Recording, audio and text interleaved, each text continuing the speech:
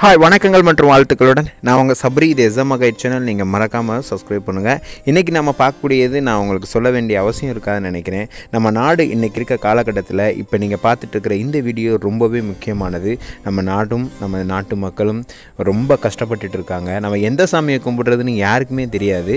ஆனால் இப்போ இருக்கிற காலகட்டத்தில் சாமிகள்லாம் ஹெல்ப் பண்ணுமா அப்படிங்கிறதும் தெரியல. இறப்புகள் நோய் தொற்று மற்றும் விதவிதமான உடல் உபாதைகள் ஆட்பட்டு இருக்கிற ஒவ்வொருத்தருக்கும் இந்த வீடியோ வந்து ஒரு மிக பயனுள்ளதாகவே இருக்கும். பார்த்தீங்களா இங்கே இருக்கிறது எல்லாமே மூட்டைகள் கிடையாதுங்க.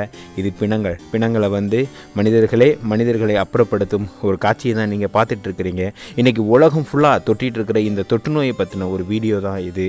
இன்றைக்கு டெல்லி உத்தரப்பிரதேஷ் இந்தியாவின் பல பகுதிகள் இடைவிடாமல் சுடுகாடு எரிஞ்சுக்கிட்டு இருக்கிற விஷயத்தை தான் நீங்கள் பார்த்துட்ருக்குறீங்க.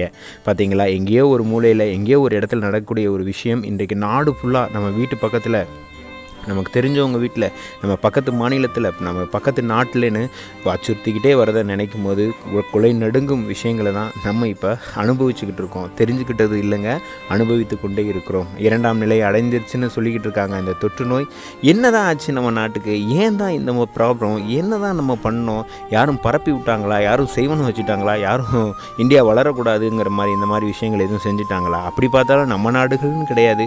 உலக நாடுகள் எல்லாமே இதை ப இதை கண்டு பயந்துக்கிட்டு தான் இருக்காங்க. இந்த நீங்கள் பார்த்துட்ருக்கீங்க இல்லையா? இந்த வீடியோ இந்தியாவின் ஒரு பகுதியில் எடுக்கப்பட்ட ஒரு வீடியோ தான். ஆனால் இந்த வீடியோவை பொறுத்த வரைக்கும் இதில் உள்ள விஷயங்கள் என்ன அப்படிங்கிறத பாருங்களேன். கொஞ்சம் கிளாரிட்டி இல்லாமல் கூட இருக்கலாம். ஆனால் இதில் உள்ள விஷயங்களை பாருங்களேன். பின்னாடி பிணங்கள் வந்துக்கிட்டே இருக்குது அந்த பிணங்களை எரிக்கிறதுக்கான மரக்கட்டைகளை வந்து அடுக்கி வச்சுருக்குறாங்க. ஒரு இடத்துல இல்லைங்க. இது ஒரு மைதானம் மாதிரி இருக்குது அந்த மைதானத்தில் ஃபுல்லாமே மரக்கட்டைகளை அடிக்க அடிக்கி அடிக்க அடிக்க வச்சுருக்காங்க. ஏன்னா இன்னும் பிணங்கள் வருமா? பாருங்கள் ஒரு பக்கம் செத்துக்கிட்டு இருக்காங்க. அவங்க செத்தங்களை செத்தவங்களை செத்தவங்கள ஒரு பக்கம் அடக்கம் பண்ணிக்கிட்டு இருக்காங்க. அந்த அடக்கம் பண்ணுறதே மிகப்பெரிய ஒரு கல்யாண வீடு மாதிரி பாருங்கள் எவ்வளோ பெருசு. நம்ம இடங்களில் வந்து ஒரு மண்டபம் மாதிரியான இடங்களில் வந்து அடக்கம் பண்ணிக்கிட்டு இருக்காங்க பாருங்கள் எரிஞ்சுக்கிட்டு இருக்குது பிணங்கள் அவ்வளோக்கு அவ்வளோ ஒரு கல்யாண மகள் மாதிரி இருக்கக்கூடிய இடங்களில் பிணங்கள் எரிஞ்சுக்கிட்டு இருக்கு. வெள்ள வெட்டவெளி மைதானத்தில். இதெல்லாம் ஏற்றுக்கொள்ள முடியுமா? இதெல்லாம் வந்து எவ்வளோ பெரிய ஒரு மனசு பாவப்பட்ட ஒரு நிலை தெரியுமா? நம்ம என்னங்க தப்பு பண்ணோம்? நம்ம என்ன தப்பு பண்ணோம்? நம்ம நல்லா பிள்ளைகளை வளர்க்கலையா? இல்லை நாட்டுக்கு நம்ம நல்லது செய்யலையா? இல்லை நாட்டில் இருக்கிற இவங்க தான் நமக்கு நல்லது செய்யலையா? ரோட்டில் உட்காந்து இப்படி அழுதுகிட்டு இருக்காங்க. யார்? நம்ம சொந்த பந்தங்கள் எல்லாம் இப்படி போயிட்டாங்க அப்படின்னு ரோட்டில் உட்காந்து அழுதுகிட்டு இருக்காங்க. இவங்க பாருங்கள் இவங்களுக்குலாம் நம்ம என்ன ஆறுதல் சொல்ல போகிறோம் கொஞ்சம் யோசிச்சு பாருங்கள் இன்றைக்கு நம்ம பார்த்துட்டு இருக்கிற இந்த புகைப்படங்கள் எல்லாமே ஒரு புகைப்படங்கள் தான். ஏங்க அடுத்த வீட்டில் சண்டை நடந்தால் அது வேடிக்கை. அதுவே நம்ம வீட்டில் சண்டை நடந்தால் அது மிகப்பெரிய வருத்தம். இது எல்லாத்துக்குமே தெரியும் தான் சரிதானே? வயிற்று வலியும் தலைவலியும் அவனுக்கு வந்தால் தானே தெரியும். பாருங்கள் ஒவ்வொரு உறவுகளையும் இறந்து இழந்துட்டு அந்த உறவுகள் துடிதுடித்து சாகிறத கண்ணு முன்னாடியே பார்த்துட்டு நிற்கிற அந்த பாவப்பட்ட ஒரு மனிதர்களை நம்ம வந்து என்ன சொல்லி ஆற்றுவது? அவங்க மனசை நம்ம என்ன சொல்லி தேத்துறது? யோசிச்சு பாருங்கள் சாதாரண ஒரு விலங்குகள் அடிபட்டு இறந்தாலே ஒரு துடிதுடித்து இறந்தாலே நம்ம மனசு வந்து ஐயோ பாவமேன்னு நினைக்கும் போது இதெல்லாம் நம்ம கூடயே இருந்த நம்ம உறவுகள். அதெல்லாம் ஒவ்வொன்றும் அந்த ஆக்சிஜன் பற்றாக்குறையால் ஒவ்வொன்றும் இறக்கும் போது மனசு வந்து ரொம்பவே வலிக்குதுங்க. இங்கே பாருங்கள் ஏதோ ஒரு இடத்துல ஒரு நாளில் இருக்கக்கூடிய இந்த பிணங்கள் வந்து டெய்லி இப்படி வரிசையில் வச்சு வரிசையில் வச்சு வச்சு எரிக்கக்கூடிய நிலைகளை தான் நீங்கள் பார்த்துட்ருக்கிறீங்க. இன்றைக்கு ஓ நாட்டின் ஒவ்வொரு மூலையிலையும் ஒவ்வொரு தெருவிலையும் இந்த மாதிரியான நிலைகளை நீங்கள் வந்து ஈஸியாக கண்கூடாக பார்த்துட்ருப்பீங்க. இதுக்கெல்லாம் என்ன காரணம் யார் காரணம் அப்படிங்கிறத விட இதிலிருந்து நம்ம மீள்றது எப்படி அப்படிங்கிறது தான் நம்ம யோசிக்க வேண்டியிருக்கு. நான் என்ன தான் அறிவுரைகளோ ஆறுதலோ நான் சொன்னாலும் இந்த மாதிரி மக்களுக்கு வந்து உண்மையிலே உண்மையாகவே அவங்களுக்கு வந்து ஆறுதல் தராது. இன்றைக்கு உலகம் ஃபுல்லாக மக்கள் பணத்துக்காகவும் வீட்டுக்காகவும் நகைக்காகவும் ஒவ்வொருத்தருடைய உயர்வுக்காகவும் தாழ்வுக்காகவும் ஒவ்வொருத்தரும் ஒவ்வொரு பக்கம் ஓடிக்கிட்டு இருக்காங்க. ஆனால் இன்றைக்கு ஓடக்கூடிய சூழ்நிலைகள் என்னென்னா மருந்து மருந்தை தேடி ஒவ்வொருத்தரும் ஒவ்வொரு வாசல்லையும் ஒவ்வொரு கவர்மெண்ட் ஹாஸ்பிட்டல் வாசல்லையும் எப்படா நம்ம வீட்டுக்கு போவோம் எப்படா நம்ம குடும்பங்களில் எந்திரிக்கும் அம்மா வந்துடுவாங்க அப்பா வந்துடுவாங்க நம்மளாம் சேர்ந்து எப்படா உட்காந்து சாப்பிடுவோங்கிற ஒரு ஒரு மகிழ்ச்சியான தருணத்தை வந்து எதிர்பார்த்து காத்துட்ருப்பாங்க இருக்காங்க இல்லையா? அவங்களுக்குலாம் நம்ம என்ன பதில் சொல்ல போகிறோம் அப்படிங்கிறது தாங்க என்னுடைய கேள்வி.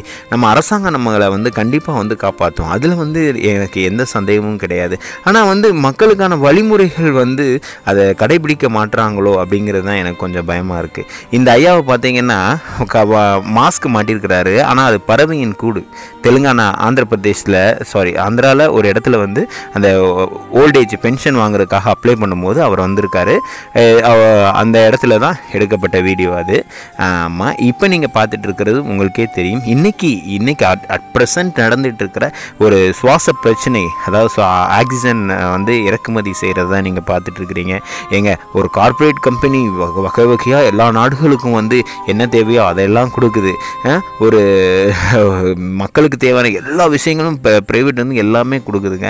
ஆனால் இந்த ஆக்சிஜன் மட்டும் யாருக்கும் கிடைக்கல அப்படிங்கிற மாதிரியே சொல்கிறாங்கங்க ஆனால் அது ஒருவேளை யாரையும் கரெக்டாக போய் சேரலையோ அப்படிங்கிற ஒரு பயம்தான் இருக்குது எத்தனை பேர் வந்து இப்படி ரோட்டில் உட்காந்து அழுகுறாங்க பாருங்கள் அவங்கெல்லாம் வீடு இல்லாமையா காடு இல்லாமையா ரோடு இல்லாமையா? எனக்கே மனசுக்கு ரொம்ப கஷ்டமாக இருக்குது டெல்லி. டெல்லி முழுவதும் பிணங்களால் எரிந்து கொண்டிருக்கிறதா? இரவும் பகலும் பேப்பரில் வந்து ஹெட் நியூஸ் வருது. அதை கேட்குறதுக்கே வந்து ரொம்ப பாவமாக இருக்குங்க.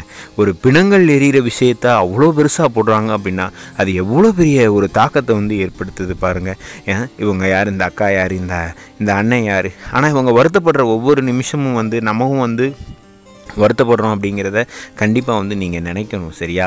இன்றைக்கி அன்றைக்கி வந்து அவனுக்கு நாளைக்கு வந்து நமக்கு அப்படிங்கிற ஒரு எண்ணம் வந்து உன்னை போல் பிறரையும் நேசின்னு தான் சொல்லியிருக்கிறாங்க. அதை வந்து நீங்கள் நினச்சா அப்படின்னா கண்டிப்பாக வந்து அவங்களுக்கு உதவலாம். இல்லை உதவாட்டினாலும் ஒரு நல்ல பிரார்த்தனைகள் வந்து அவங்களுக்கு நல்ல விஷயத்தை வந்து கொடுக்குங்க. வாழ்வினின் மேம்பாடு அடைகிறதுக்கு வந்து கண்டிப்பாக ஒரு பிரார்த்தனை அப்படிங்கிறது வேணும். நம்ம என்ன தான் வந்து சுத்தபத்தமாக இருந்தாலும் நம்ம சுத்தமாக இருப்போம். ஆனால் நம்ம சுற்றி இருக்கிறவங்களும் சுத்தமாக இருந்துட்டாங்க அப்படின்னா இந்த மாதிரி பிரச்சனைகள் வர்றதுக்கான வாய்ப்புகளே இல்லை. சரிங்களா? நமக்கு உண்மையிலேயே வந்து நம்ம நோய் கட்டுப்பாட்டிலிருந்து மீண்டு வரணும். நம்ம நாடும் நம் தேசமும் நம்ம இருக்கிற இடமும் சுத்தபத்தமாகி உலகம் ஃபுல்லாக வந்து சுற்றணும் இன்பமாக இருக்கணும் அப்படிங்கிறது தான் என்னுடைய வேண்டுதல். சரிங்களா? என்றைக்கு இந்த நிலை மாறும் அப்படிங்கிறது எனக்கு தெரியல. ஆனால் I just pray to the God நான் கடவுள்கிட்ட கண்டிப்பாக கேட்பேன். என் மக்கள் எப்பொழுதும் சந்தோஷமாக இருக்கணும் இதிலேருந்து மீண்டு வரணும் அப்படிங்கிறது தான் என்னுடைய வேண்டுதல். யார் எவ்வளோ பெரிய கோடீஸ்வரனாலும் இந்த இடத்துக்கு போய் தான் ஆகணும். ஆனால் அது வந்து இயற்கையாகவே நடக்கணும். நன்றி.